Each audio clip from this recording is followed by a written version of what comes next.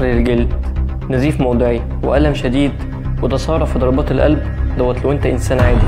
أما لو أنت طفل أو عندك حساسية فالخطر هيبقى أكبر من كده بكتير.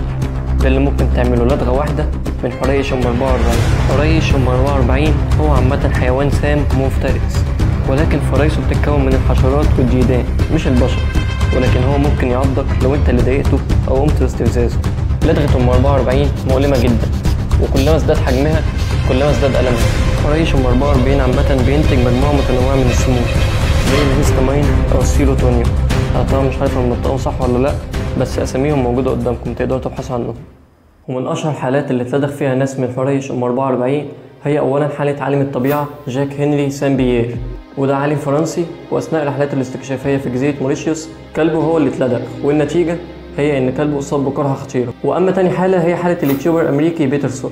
ودوت يوتيوبر بيجرب لدغات كل أنواع الحشرات وكل أنواع الزواحف والبرمائيات هو مشهور عموما. وكان في التجربة دي جرب لدغه حريش الصحراء. وهو اللي استفاده من التجربة دي عموما هو إنه عرف إن لدغه حريش الصحراء أشد وأكثر ألم من لدغه النمر الرمادي. علم الحيوان عموما أو ال zoology هو علم تجريبي. يعني أنت لو عايز تعرف معلومة جديدة لازم تجربها بنفسك. أنت مثلا عايز تعرف تأثير سم أم 44 على البشر. فهتعرف كده منين؟ هتجرب بنفسك وتشوف بعينيك التأثير اللي حصل من لدغة أم 44 طبعا أم 44 أنا اتلدغت منها قبل كده ولكن مش النوع ده. كان النوع اللي هو الموريستانس اللي بيعيش في الأماكن الزراعية. دوت من نوع الحريش دوت اسمه حريش البحر الأبيض المتوسط. من اسمه بيعيش في دول حوض البحر الأبيض المتوسط. أنا الصراحة متوتر لأن لدغته مؤلمة بس أنا عايز أعرف مدى تأثيرها على الإنسان.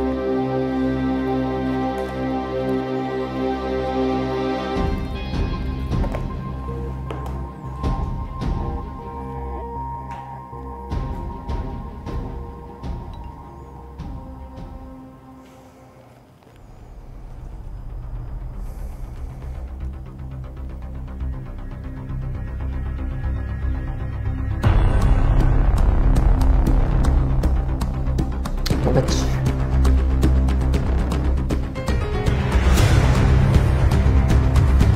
كل اللي أنا حاسس بيه قلبي بيدق بسرعة وادرينالين مش أكتر لأن أنا عاشق إنها تقدم دلوقتي. بس يلا. عضتني يا خفيف أنا ما اتكتش عليها جامد. لا هو خفيف ولا حاجة؟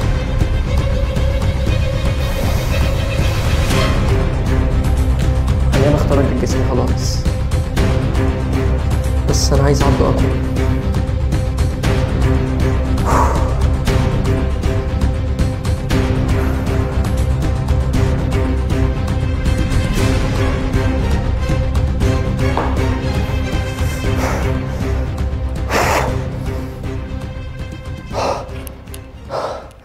الحمد لله.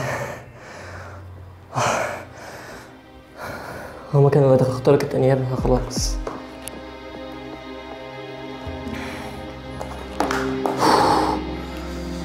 الإسعافات الأولية عموما للدغة ديت هي إنك تغسل إيدك بمية سخنة. ده بيخفف انتشار السم بسرعة. الحتة هنا بدأت تكبر وتورق.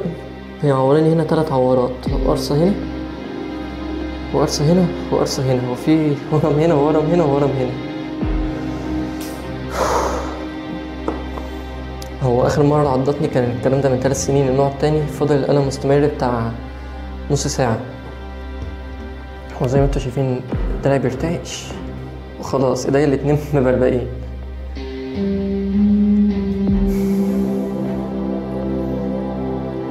شايفين أثر العضة الأولى؟ هو كده غلط الصراحة إن أنا خليتها تقرصني تلات قرصات.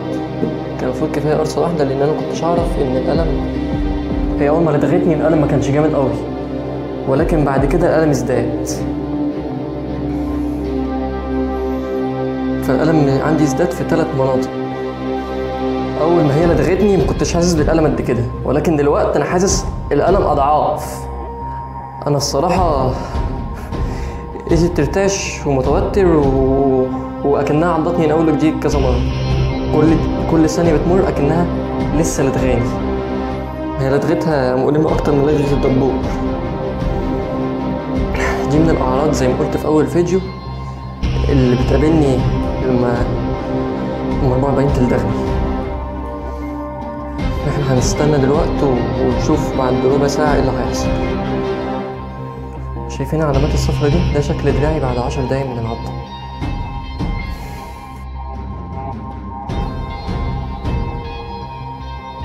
قرب عليها كده. عايز تبان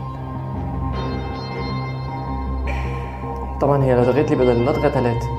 أنا كنت هي الألم في أول اللدغة ما كانش مؤلم للدرجة ولكن دلوقتي حاسس زي ما قلت بأضعافه. أنا دلوقتي برتعش ومش قادر أستحمل الألم بصراحة. فأنا دلوقتي هغسل إيدي المية السخنة وأصور لكم كمان خمس دقايق إيدي بقت عاملة إزاي. ده كده الأول بعد عشر دقايق من اللدغة شايفين اللون الأصفر ده؟ فأنا هغسل دراعي بسرعة بالمية عشان ده بيخفف من انتشار السم في الجسم. بس كده إحنا النهارده اتعلمنا دي ممكن تعمل فيك إيه؟ طبعا أنت لو عندك حساسية أو لو انت عجوز بلاش تجربها طبعا.